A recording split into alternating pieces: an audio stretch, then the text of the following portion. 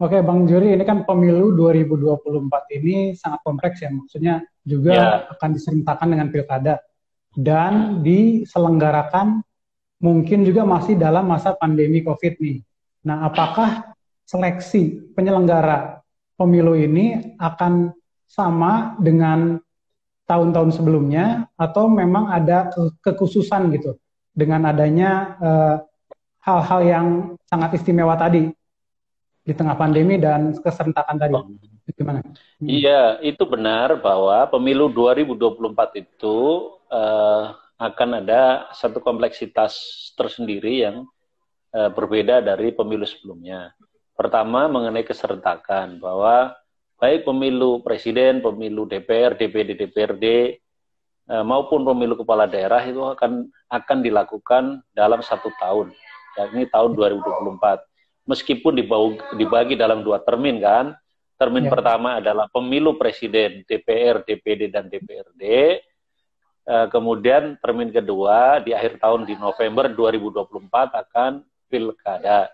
Uh, tentu ini akan terjadi semacam penumpukan, akan terjadi persinggungan jadwal pemilu yang bersamaan dan ini membutuhkan manajemen pelaksana pemilu yang uh, tidak mudah. Tetapi kita harus membangun optimisme. Pertama, bahwa organisasi KPU, Bawaslu atau penyelenggara pemilu itu sebetulnya sudah established ya, sudah settle.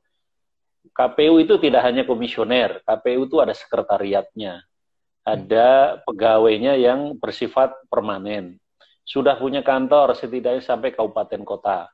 Nah, itu sebetulnya satu modal yang sangat luar biasa.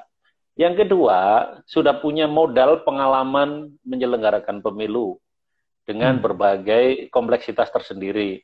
Pilkada serentak, pemilu serentak, pem, kemudian pilkada di masa pandemi, dan semuanya bisa dilakukan, dilaksanakan oleh penyelenggara pemilu.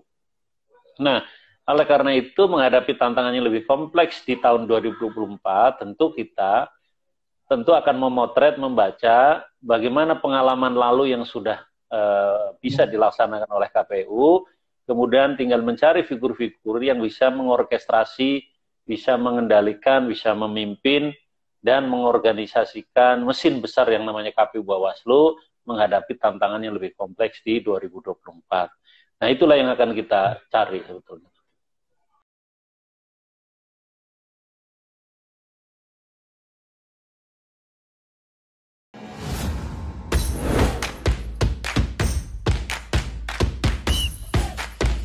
Ayam kalau diaduk-aduk jadi cair. Seriously? Diaduk kayaknya ya.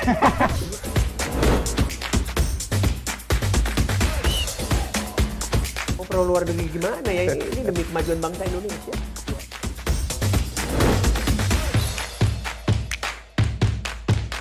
Isu kebangkitan uh, PKI ini uh, dihentikan.